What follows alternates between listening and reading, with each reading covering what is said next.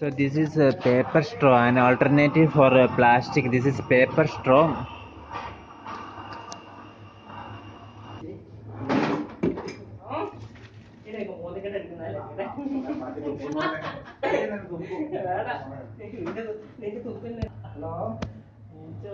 A-